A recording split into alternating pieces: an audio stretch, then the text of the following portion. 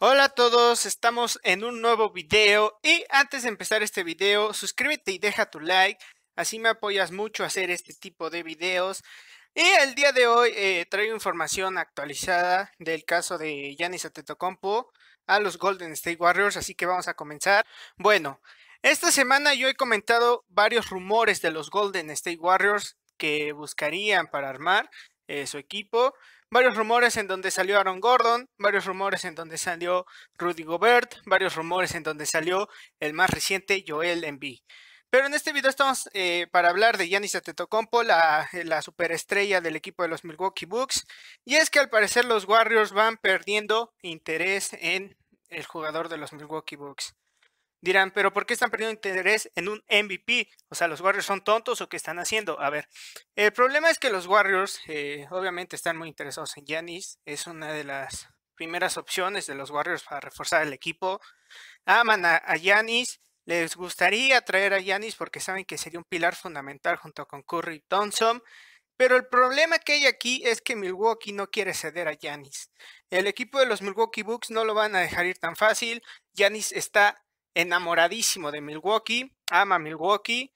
Eh, el equipo de los Warriors como que han intentado seducir a los Bucks, al final nunca han podido y es que es complicado porque el equipo de los Milwaukee Bucks no quieren a Andrew Wiggins, no quieren a Eric Pascal, no quieren las rondas de los Warriors y está complicado. Lo que quiere Milwaukee es Thompson, porque sabe Milwaukee que estarían perdiendo a uno de sus mejores jugadores de toda de toda su historia y a un MVP, al MVP actual de la NBA.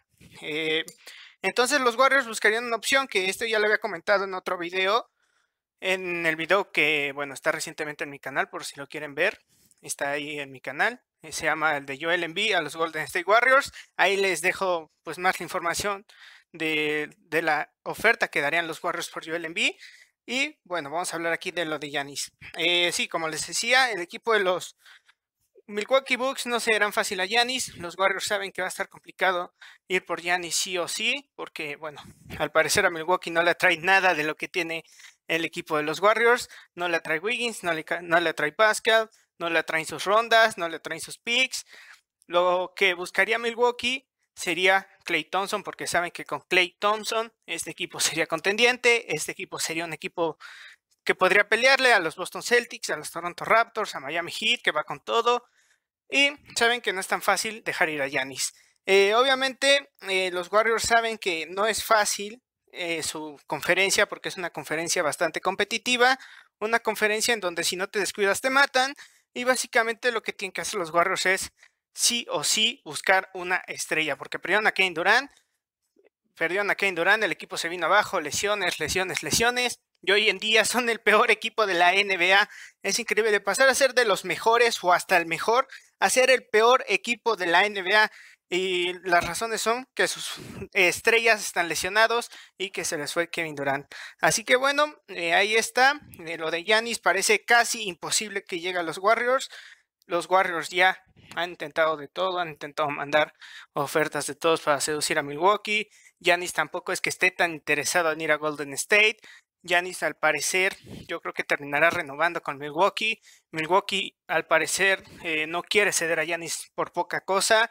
Yo también se me, se me haría una tontería que cambias a Yanis por Andrew Wiggins, sería una tontería abismal. Yo creo que Clay Thompson podría entrar, pero los Warriors no quieren desprenderse de Thompson y como que Milwaukee no quiere desprenderse de Yanis, entonces es un yo no voy a ceder, tú no vas a ceder y nadie va a ceder, mejor búscate otro jugador.